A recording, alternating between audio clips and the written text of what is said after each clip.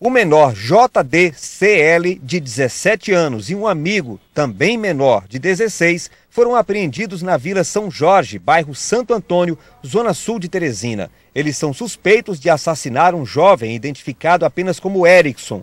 O crime aconteceu no dia 15 deste mês. Segundo a polícia, o crime foi motivado por vingança. Erickson teria assassinado a tiros a namorada e um cunhado de um dos menores. A dupla cercou Erickson em um posto de combustíveis localizado na BR-316, perto do acesso ao residencial Mário Covas, na Zona Sul.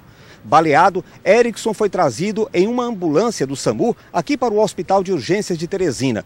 Não satisfeita, a dupla seguiu a ambulância e acabou matando Erickson na frente do portão de entrada do pronto-socorro, quando ele era retirado da ambulância para receber atendimento médico. Então, ele já confessara que praticou o vingança, porque a vítima havia assassinado a sua namorada, bem como o seu cunhado.